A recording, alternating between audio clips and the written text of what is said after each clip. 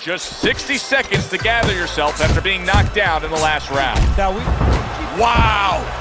One punch power has ended this fight. Can you believe that? There is no way he could continue on. It is done.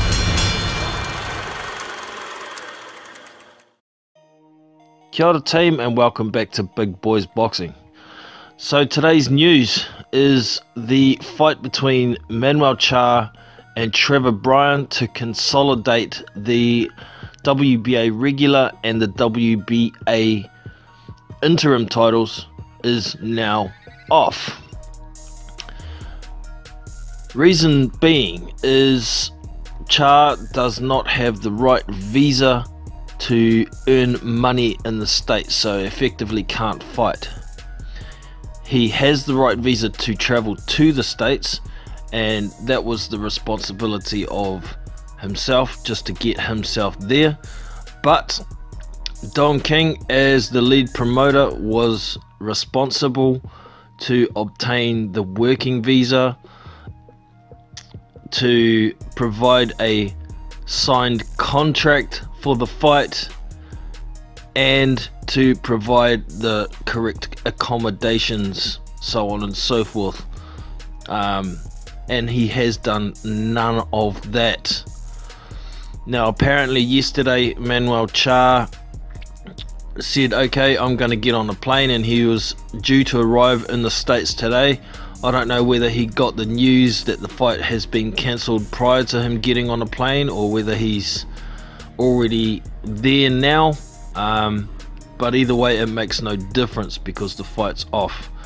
Now, from all the information that I have seen on this, all fingers point to Don King trying to manipulate the situation uh, to try and have Trevor Bryan face Bermane Stiverne for the regular title.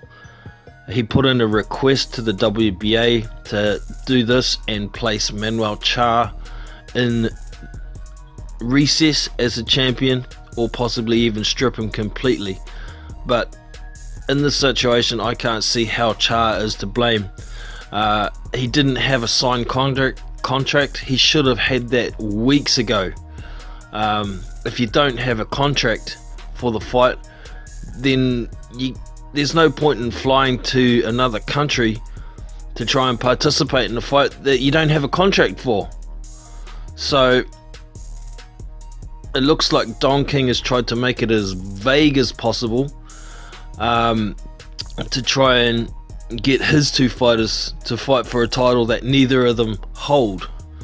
Now, the problem here is the 29th of February was the deadline for the uh, bid to be the fight to happen for the purse bid to be valid. Don King won the purse bid at $2 million. Now it's going to be a purse bid default. Don King's going to lose all the rights and if the WBA has any common sense, they're not going to approve Trevor Bryan versus Bermane Stiverne for the regular title when it's Don King's fault that the fight never happened. So he's made a big stuff up here trying to be smart. Uh, maybe this sort of thing would have worked 20 years ago um, or even longer, 30 years ago when there wasn't so much technology and social media and communications and all that sort of thing to back up everyone's stories. Now, there is an article I will leave in the description you can read through, have a look for yourself. Uh, the attorney for Don King is talking about Charr has made this so difficult because he's been changing um, promoters or changing his management team uh, making it too hard for them to be able to communicate and sort of things. But I'm not buying that for a second. Um, this is Don King antics. You can see it from a mile away, and hopefully the WBA are going to see it as well. I don't know if there's going to be any impact on Trevor Bryan. Is he still going to maintain his title or not? I don't know. Um, maybe the WBA will try and get them to reschedule or run another purse bid or uh, something like that. But it's getting ridiculous, man, because neither of these guys have been in the ring for uh, two years. Charr is nearly three years, I think. Um, so, or maybe it's Trevor Bryan actually is nearly three years.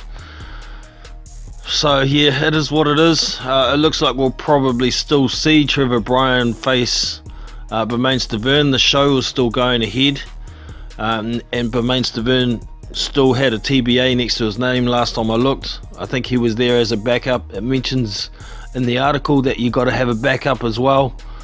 But um, I'll be extremely surprised if the WBA does approve uh, Bryan versus Stiverne for the title. Now, it will be good to see Trevor Bryan in the ring, uh, be able to catch a full fight of the dude. Uh, there's only really highlights available um, of Trevor Bryan, so those who haven't really seen him will be able to get a good idea of what's he, what he's all about. I don't think uh, Bermane Stiverne has much of a chance of beating him. Um, Trevor Bryan's pretty slick. Um, he's getting longer in the tooth, but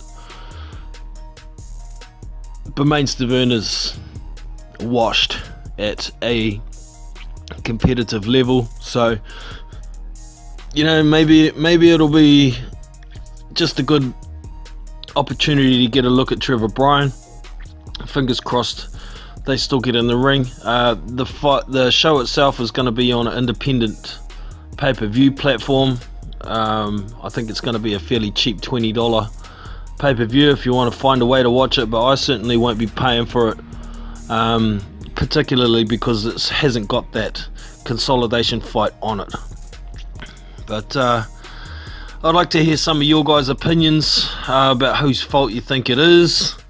Um, what you think the WBA might do, so on and so forth. So leave some comments below and we can get some conversation going. That is the news out there. Hope you've enjoyed. If you have, don't forget to hit that thumbs up. Subscribe to the channel so you don't miss future content. Hit that bell icon.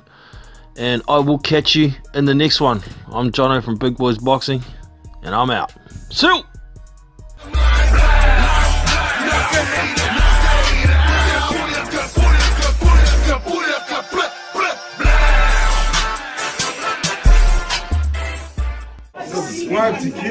That's the one. Yeah.